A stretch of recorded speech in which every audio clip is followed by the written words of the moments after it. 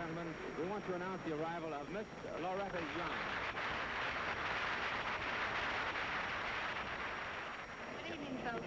There certainly is a big crowd and heaps of light and lots of fun and excitement at the premiere of The Rainbow Girl. Thanks. Thank you so much, Miss Young. Thank you.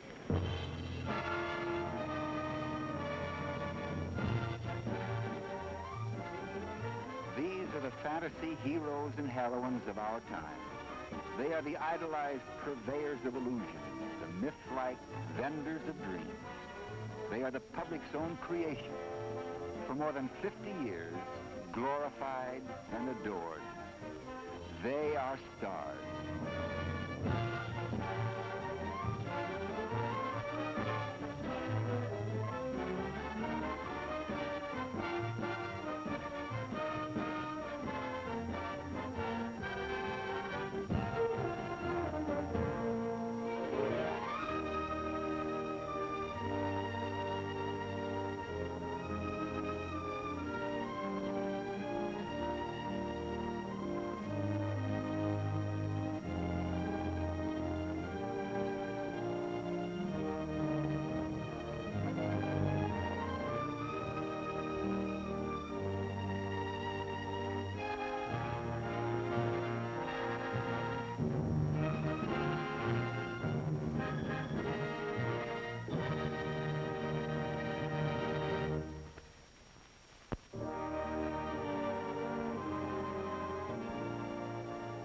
Gable Monroe.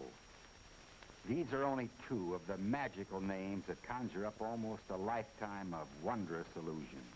They are among a handful of unique personalities who belong on the roster of great stars. Those in whose images audiences over the years have found some elusive fulfillment. The climate that produced them has changed, but the affection born out of need for them remains. This is essentially a love story. A story that begins when there were no stars. In 1910, there is magic in the flickers shown at neighborhood Nickelodeons, but the players have no names. Who is the adorable little girl with the curls audiences demand to know? Movie producers fear that fame for players means higher salaries, but public clamor forces them to relent and Mary Pickford, the movie's first great star, is born. Now Hollywood eagerly satisfies the public's demand. Pictures with stars make money. Charlie Chaplin becomes the greatest silent film star of all. The universality of his comic genius makes him the folk hero of the world.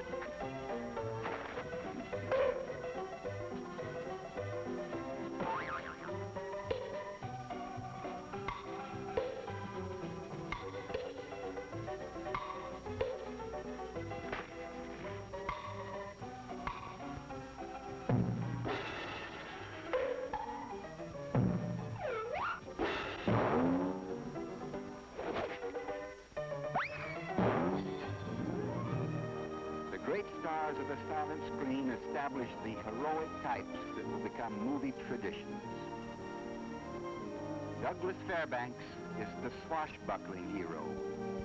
In The Mark of Zorro, he boldly sets the pattern for others to follow.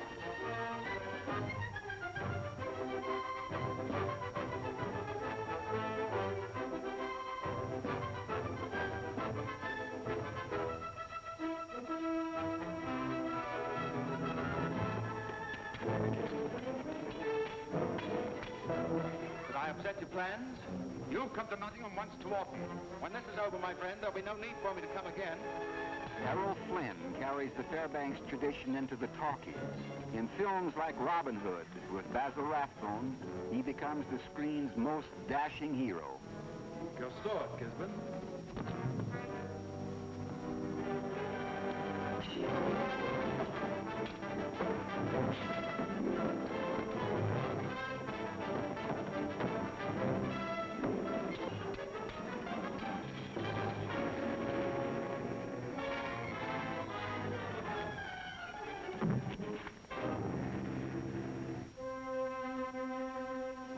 Valentino, the sheik of the silent screen, sparks a revolution in romantic technique and creates a model for Latin lovers.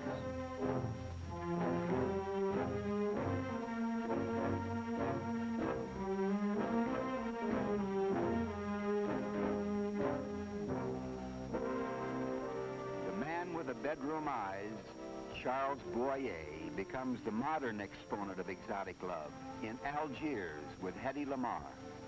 You're beautiful. Do you know what you are to me? Paris. That's you. Paris. With you, I escape. Follow me? The whole town is spring morning in Paris.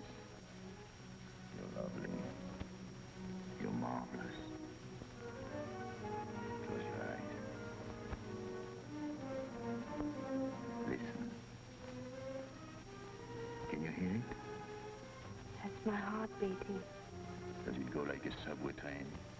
faster.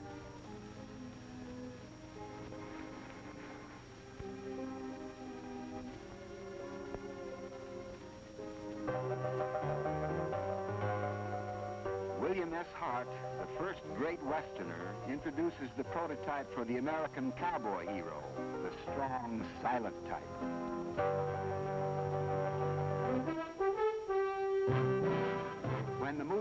To talk, Gary Cooper in films like Samuel Goldwyn's The Westerner is a man of few words.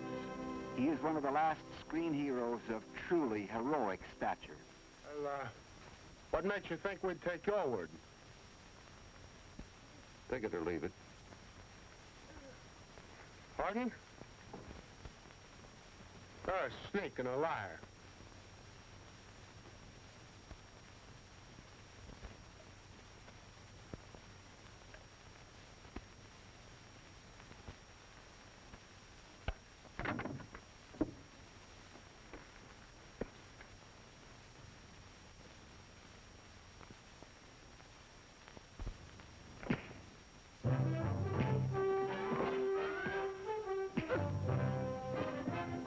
Fantasy hero, larger than life, dominates the screen until John Garfield breaks the mold. He creates a new screen hero, life-size, vulnerable. He's the man in conflict with a world he never made. They've been at me now nearly a quarter of a century. No let-up.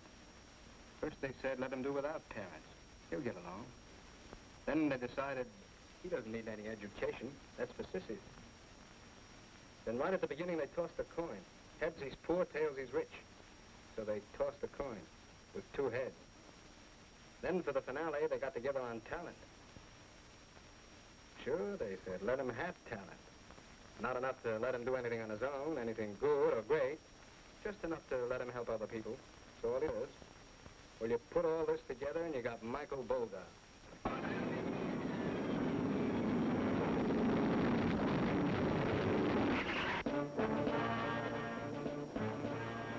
Marlon Brando is the rebel. An unromanticized hero, he is a product of his times. In On the Waterfront, with Eva Marie Saint, he expresses the frustrations of a new generation. He's wanting my philosophy of life. Do it to him before he does it to you. Never met anyone like you. There's not a spark of sentiment or romance or human kindness in your whole body. What good does it do you besides get you in trouble? Listen, down here, it's every man for himself. It's keeping alive. It's standing in with the right people so you get a little bit of change jingling in your pocket. And if you don't, If you don't, right down.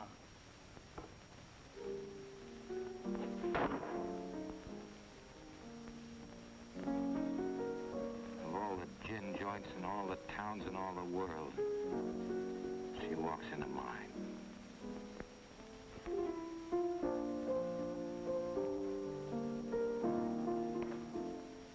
What's that you're playing? Oh, just a little something of my own. Oh, stop it. You know what I wanted you to. No, don't. Played it for her, you play it for me. Well, I don't think I can remember. If she can stand it, I can. Play it. Yes, bro.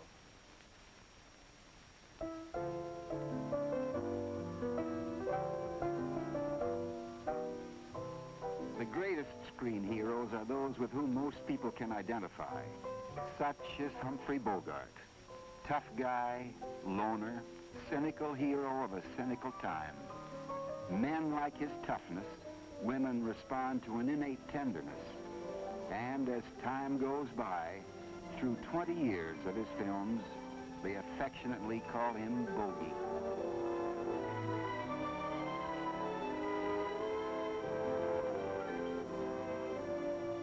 Petrified Forest, the role that makes him a star.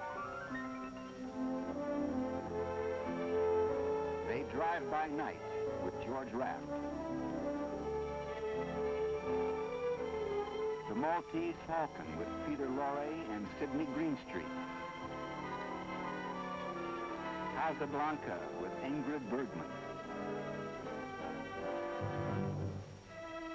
Treasure of Sierra Madre with Tim Holt and Walter Huston. Key Largo with Edward G. Robinson.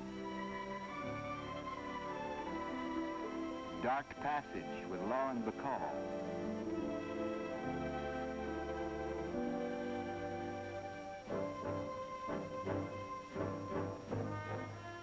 African Queen, for which he wins an Academy Award. Captain Queeg in the Caine Mutiny.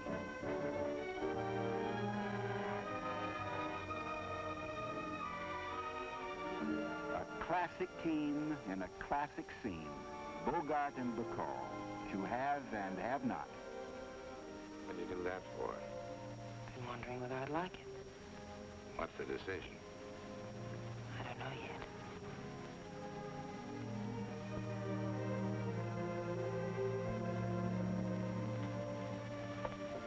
Better when you help.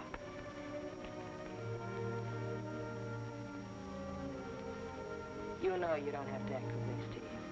You don't have to say anything and you don't have to do anything. Not a thing. Oh, maybe just whistle. You know how to whistle, don't you, Steve? You just put your lips together and blow.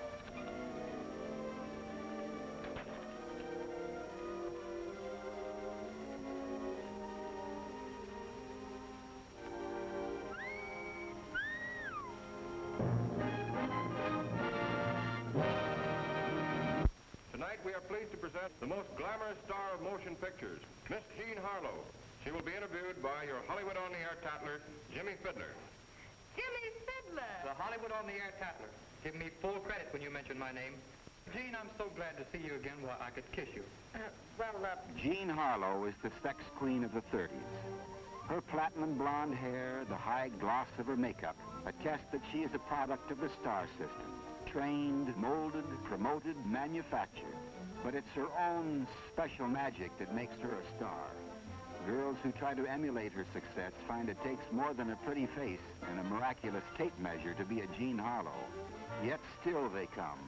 Girls from the cities, girls from small towns, high school cheerleaders, dance and beauty contest winners, even their runners-up, all hoping against hope for the chance to be put through the star-making machine.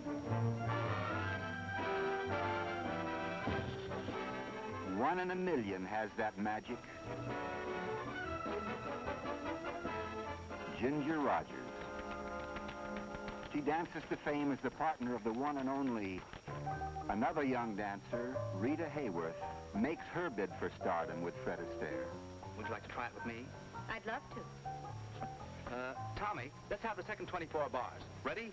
One and two and.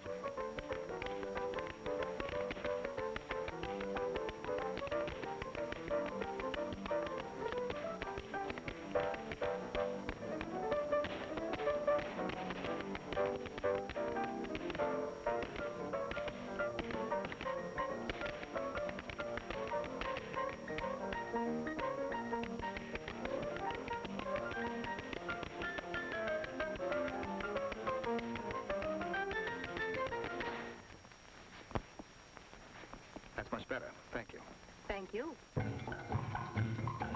A star's publicized private life must conform with her screen image.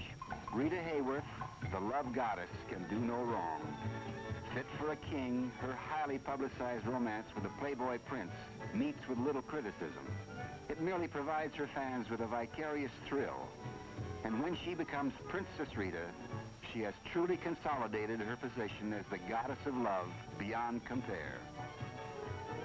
When she returns to America, she finds an eager public waiting and, hotter than ever, resumes her career as Miss Sadie Thompson. The heat is on. The heat is on. You're gonna hear the sirens howl tonight. You're gonna see the building bounce. Because the lady's on the prowl tonight. And it behooves me to announce the heat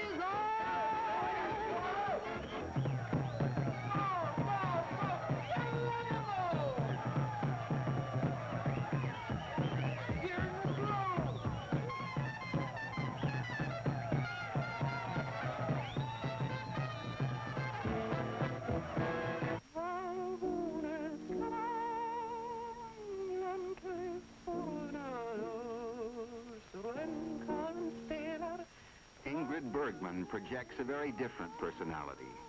An enormously popular star, she is a symbol of nobility, purity, wholesomeness. And her screen roles support that image. The press calls her Saint Ingrid. When Bergman's love for the Italian director Rossellini does not seem to coincide with her established image, her fans desert her. And the once beloved star is banished from the screen. Not for almost 10 years is she accepted again in American films. Upon her return, she candidly comments on her experience. You think that uh, Europeans in general are uh, more sensible about their attitude toward life and toward public figures than Americans? Yes, they are. That I, I'm sure of because they live and let live, and all that counts is what they go and see, and uh, what they, you know, what they pay for. They want to see an actress because she gives a good performance. But whatever she does in life, it's. Uh, You mean it's where... not- Excuse me. Yeah. Did you have any uh, criticism of the way the press in general handled the story of your life? Oh, sure, I had some criticism of it because I think that the person has to have a private life, but I also know that if you choose being an actress, you have to take both sides of the coin. One great star refuses to compromise. Greta Garbo. She fanatically guards her privacy, flees all publicity, and becomes a legend of glamour and mystery. And even in her retirement of more than 20 years, she is pursued as ever before. If anything, the legend of Garbo grows with the years. Of her need for privacy, she once explained, I've never said I want to be alone. I only said I want to be let alone. Few stars' private lives are as public as Elizabeth Taylor's. Her marriages, divorces, even her illnesses project an exciting reality that makes her movie roles merely extensions of her private life.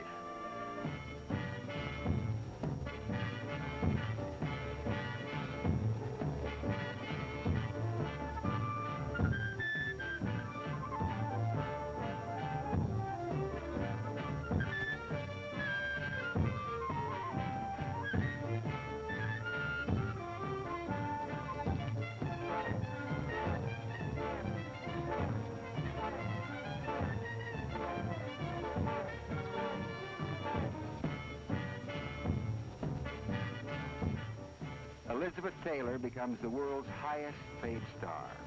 Although she is beautiful and talented, the financial success of a $40 million production may center on public interest in her romance with her leading man. Unlike Garbo, the spotlight on her private life helps create the legend of Elizabeth Taylor.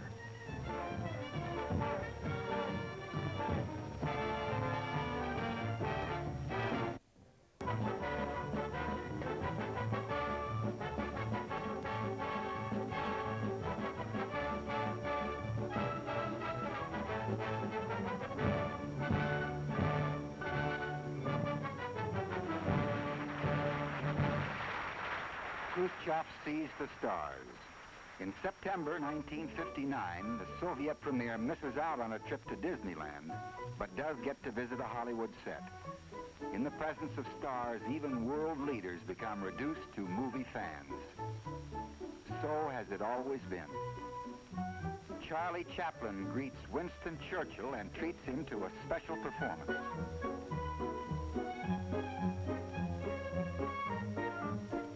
Screen star Marion Davies guides George Bernard Shaw through Hollywood on one of his rare visits to America.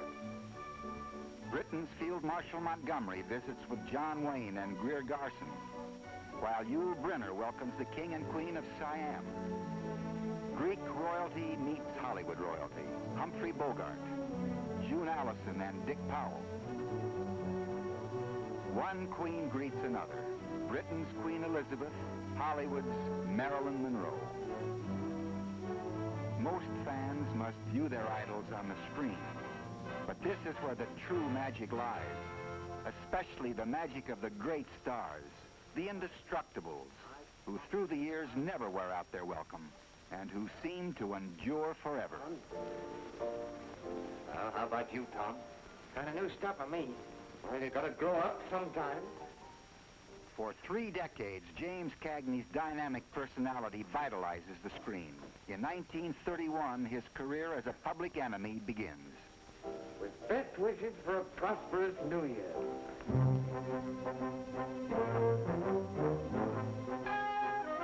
Cagney gets his first gun and embarks on a remarkable screen life of crime, violence, and mayhem.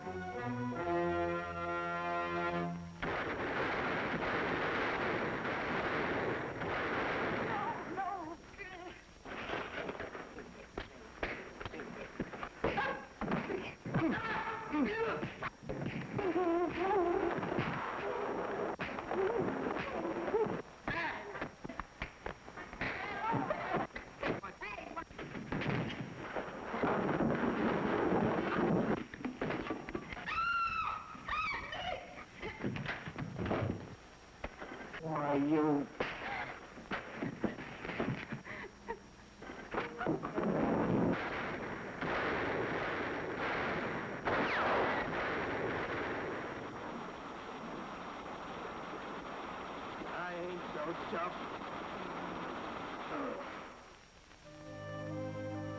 Spencer Tracy, the actor's actor. In the early days of sound, his intensity and rugged warmth are conveyed in films like Man's Castle with Loretta Young. Bill, why do you always keep looking through that hole for? Why? When you're dead, you get a hunk of earth. When you're alive, you want to hang on to your hunk of blue. That's all I got in the world. That's all anybody's got is that hunk of blue. You know, I never noticed it before, but your eyes are sky color, sort of. You got a hunk of blue in each little limb, ain't you?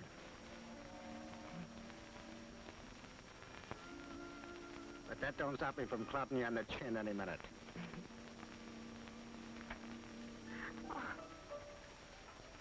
Climb in here. That a wicked law like Stanley Kramer's Mad, Mad World and Inherit the Wind richly reveal Tracy in his vintage years. Can't you understand? That if you take a law like evolution and you make it a crime to teach it in the public schools, tomorrow you can make it a crime to teach it in the private schools, and tomorrow you may make it a crime to read about it, and soon you may ban books and newspapers. And then you may turn Catholic against Protestant, and Protestant against Protestant, and try to foist your own religion upon the mind of man. If you can do one, you can do the other, because fanaticism and ignorance is forever busy and needs feeding. Katharine Hepburn. Her unique beauty and style, her quicksilver personality, and her radiant youth first enchant audiences in the early 30s when she appears in Morning Glory with Adolphe Menjou. I should have taken better care of you, not let you get lost. Let's not talk about that, please. You mustn't think any more about it, really. It's been so beautiful just as it's been. I'm glad you feel that way about it. And it's going to be so much more wonderful. Now. You'll be so proud of me, really you will. I can be so wonderful for you. You see, you're in my heart.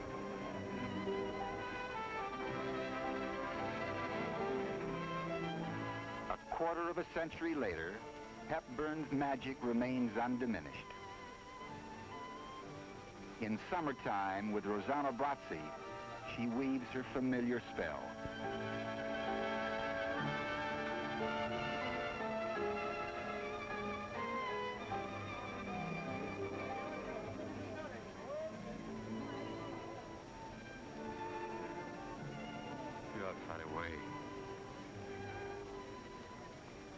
Am very close. What are you thinking? I was thinking of the first evening I came here. First time I saw you, you were wearing a yellow tie. I don't want to forget any of it. Not a single moment.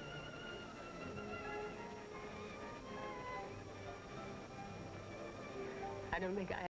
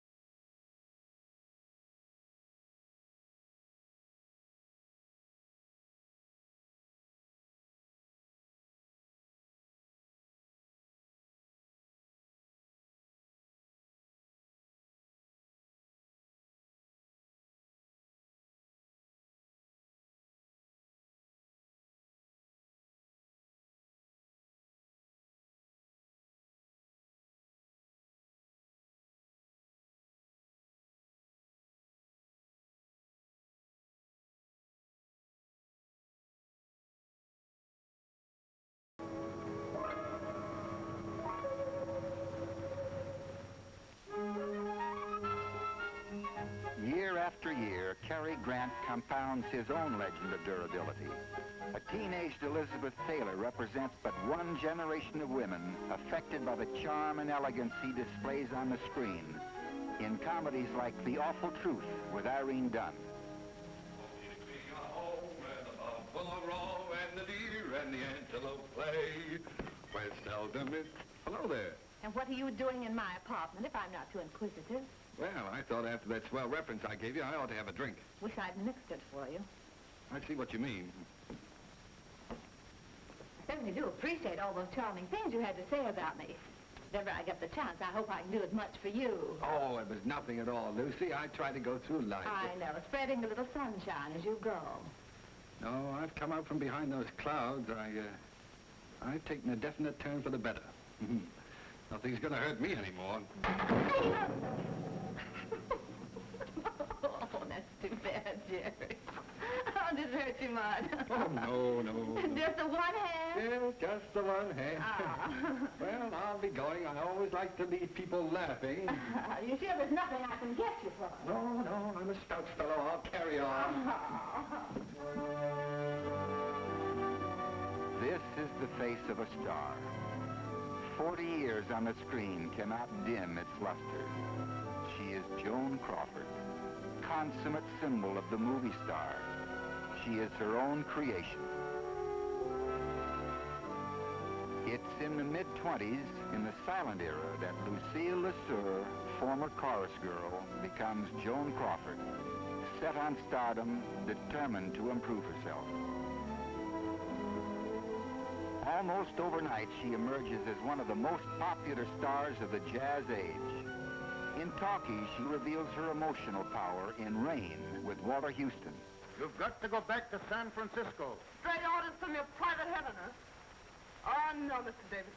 Your God and me could never be shipmates. And the next time you talk to her, you can tell him this for me, that Sadie Thompson is on her way to hell. Stop! This has gone far enough. Oh, no, it hasn't gone far enough. You've been telling me what's wrong with me. Now I'm going to tell you what's wrong with you. You keep yelling at me to be punished, to go back and suffer. How do you know what I've suffered? You don't know, you don't care, and you don't even ask, and you call yourself a Christian. By the 40s, the self-styled Crawford is an Academy Award winner and appears in Humoresque with John Garfield.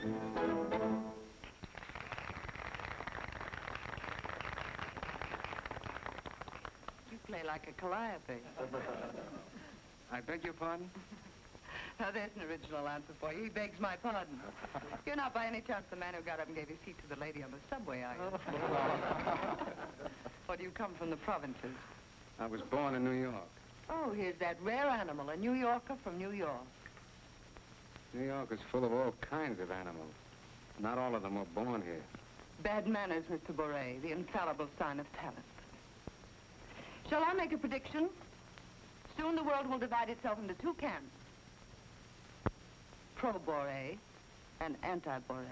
One, two, three, four, five. As you can see, size or brute strength mean absolutely nothing against judo. From the very beginning... In The Caretakers, nearly 20 years after Humoresque, almost 40 years after her movie debut, Joan Crawford, the personification of the words movie star, is still at the top.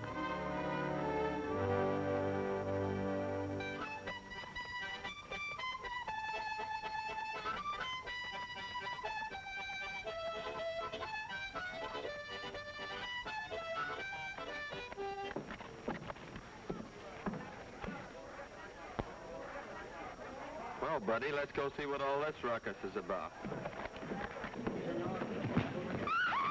John Wayne heroically endures through countless grade C westerns in the 30s to become one of the movie's all-time box office champions by the 60s. His 162nd film, McLintock, is grade A vintage Wayne. Now, we'll all calm down. Boss, he's just a little excited. I know, I know. I'm going to use good judgment. I haven't lost my temper in 40 years. But, Pilgrim, you caused a lot of trouble this morning. Might have got somebody killed. And somebody ought to belt you in the mouth. But I won't. I won't. The hell I won't. The man Who Played God, Bette Davis supports George Arliss in her first major role. Ahead, a career that will span more than three decades and a gallery of dramatic portraits unrivaled on the screen. Her mannerisms become her trademarks. Whether she play witch, wench, or queen, Bette Davis becomes undisputably the first lady of the screen. Oh, you cheap, petty bookkeeper, you. Every time I think that those soft, sticky hands of yours ever touch me, it makes me sick. Sick, do you hear?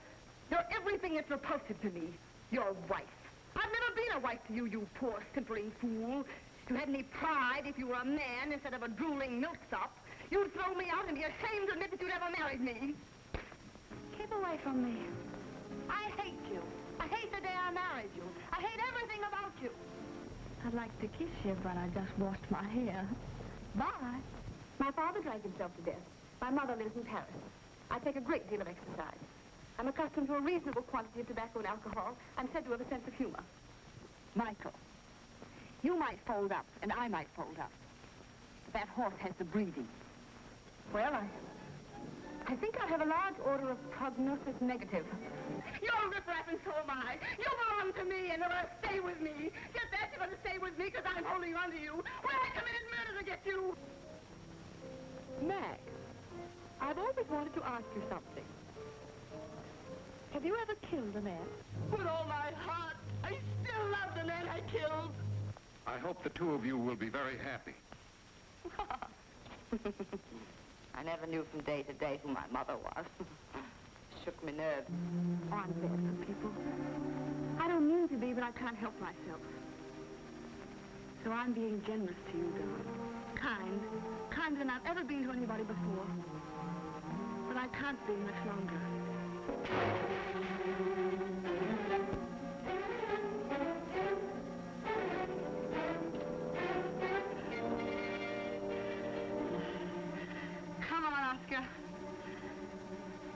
On, Oscar. Let you get drunk.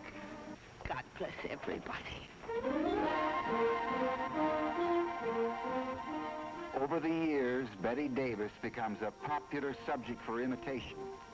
But the range, the power, the electric personality belong to the screen's great lady alone.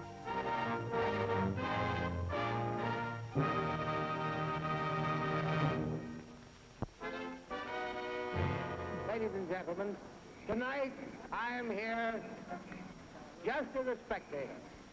I want to see Gone with the Wind the same as you do. And this is Margaret Mitchell's night. Clark Gable, the king, the most popular male star in the history of the talkies. His Rhett Butler in Gone with the Wind is a milestone in the career he began as an extra in the silent era.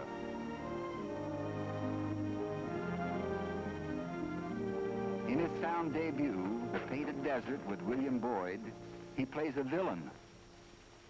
All right, Holdup. Here it is. I did everything. Wagons, mine, and all. And I'd do it again. If you or any other man come between me and what I want. But suppose nobody stops. Roguish, direct, Gable soon becomes the American symbol of manliness and wins an Academy Award for his performance in It Happened One Night with Claudette Colbert. There's no end to your accomplishments, isn't there? You think it's simple, huh? No, no. Well, it is simple. It's all that old thumb, see? Yeah. Now, some people do it like this. Or like this. All wrong. Never get anywhere. Oh, the poor thing. Yeah, boy, but that old thumb never fails. Oh, it's all a matter how you do it, though. Oh, that's amazing. Hmm? Yeah, but it's no good, though, if you haven't got a long face to go with it. Here comes the car.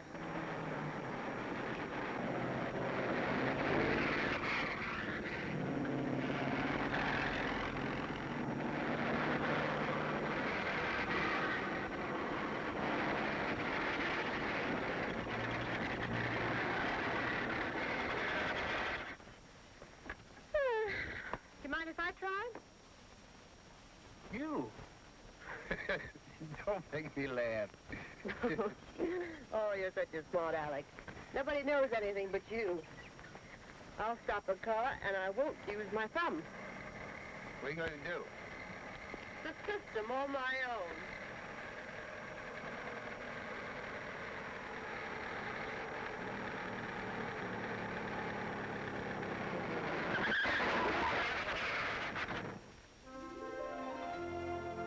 Remarkable career that spans 30 years, he makes the Gable kind of love to Hollywood's most glamorous leading ladies. Norma Shearer, Jean Harlow, Joan Crawford, Greta Garbo, Myrna Loy, Carole Lombard, Loretta Young, Vivien Leigh, Hedy Lamarr, and into another generation, Lana Turner, Ava Gardner, Grace Kelly, Sophia Loren, and Marilyn Monroe. With Marilyn Monroe in The Misfits, Gable, soft-hearted tough guy, the durable rogue, plays his last role.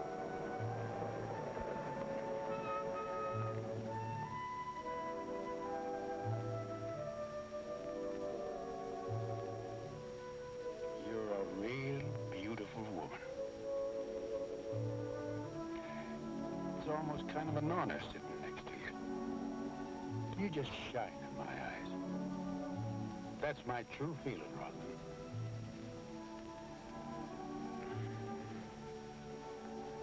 Makes you so sad? I think you're the saddest girl I ever met. First man never said that. I'm usually told how happy I am. That's because you make a man feel happy. As the world's greatest sex symbol since Harlow, it is Marilyn Monroe's role in life to make people happy.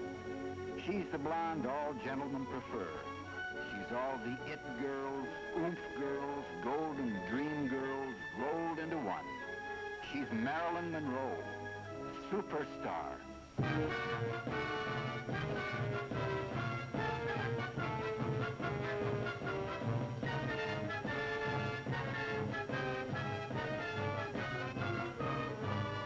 For a living symbol, there is no hiding place.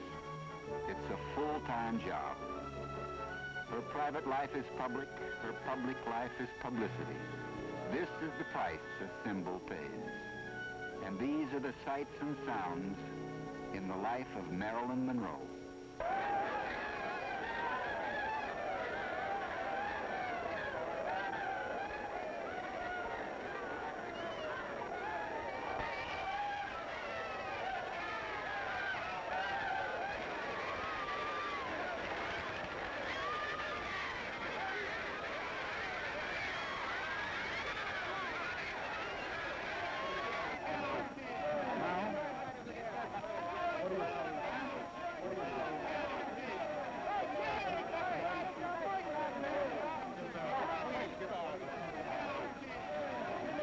Now? I feel wonderful.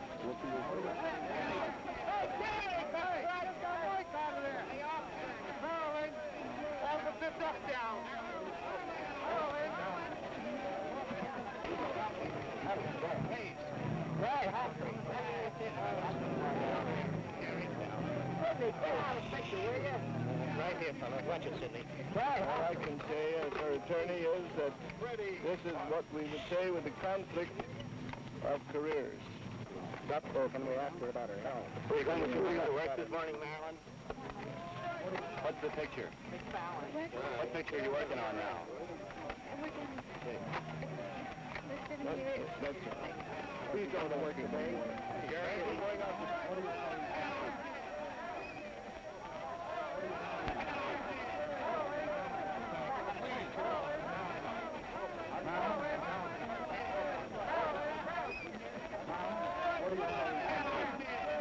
What's your card, please? Oh, come on, right so close. Would you like to uh, appear in a play written by Mr. Miller? Um, I'd like to work up to that someday, if possible. Is he writing anything for you yet? No, not really. He's working on something, but, uh, no. When are you planning to have some children? Well, I'm not married yet, dear. How do you feel? What he says? He says too early to know. Can you move that car on? Mr. Miller, are you very disappointed uh, at the decision of the court? Uh, Mrs. Miller, do you have any comment on this? Very, very much better, thank you. What's that? I'm feeling much better, thank you. I'm glad to hear that. Don't try it.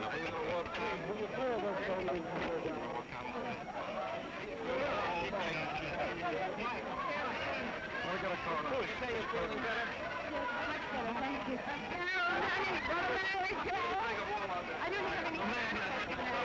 he?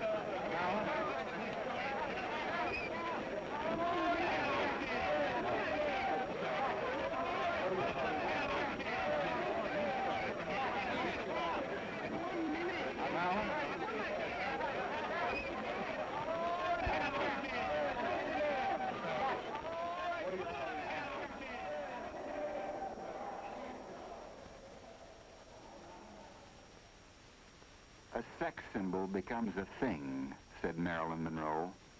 I just hate to be a thing.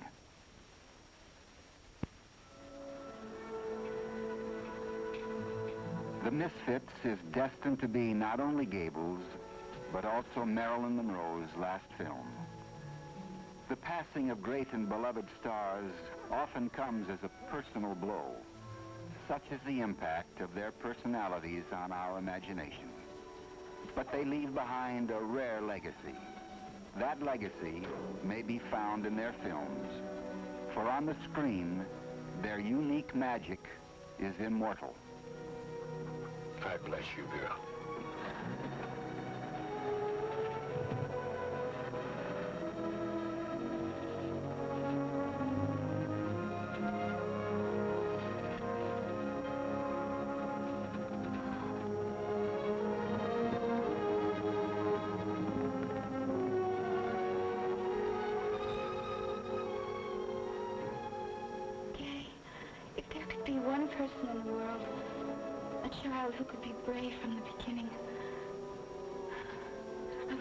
To when you asked me, but I'm not so much now, are you?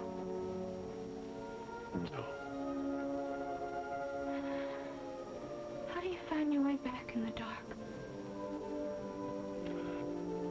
Just head for that big star straight on. The highway is under it. It'll take us right home.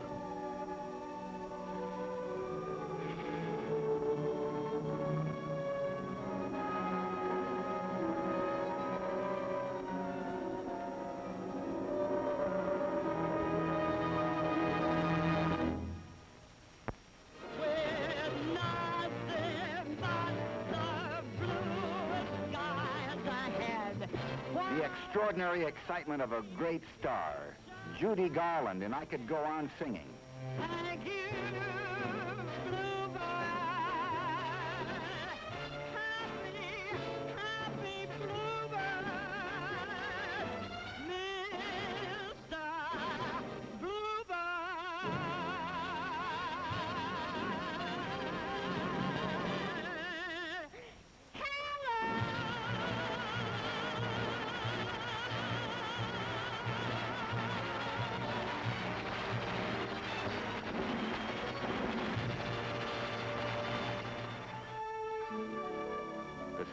System that produced Garland, Gable, Monroe no longer exists. Hollywood's younger people today, some just now aspiring to stardom, others already reaching for greatness, will not easily become the Garbos and Gables of tomorrow. But by their films, the public shall know them and decide.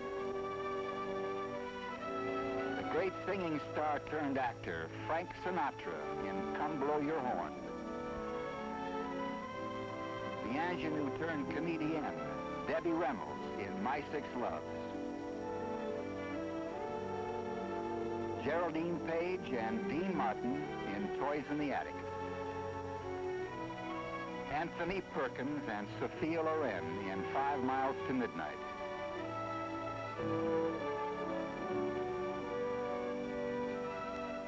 Academy Award winner Jack Lemmon in Irma la Douce.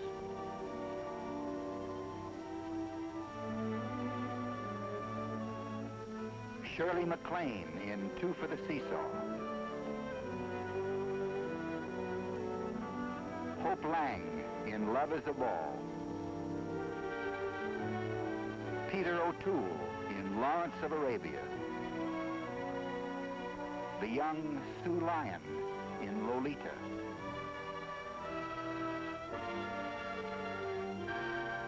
Yvette Mimieux and James Darren in Diamond Head. Nancy Kwan and Pat Boone in Main Attraction. Some of these performers may be eligible for future greatness. Only the public can tell. For as in the beginning, it's the public that creates great stars. The old system that produced the great stars has passed. But the need to identify with the heroes and heroines of the screen will always remain. Perhaps there may be fewer stars in the future, but it's certain that from time to time, in a darkened theater, something like a miracle will happen. When a sudden excitement, a sense of recognition, and then a feeling akin to love will mean a great new star is born. This is Henry Fonda. Good night.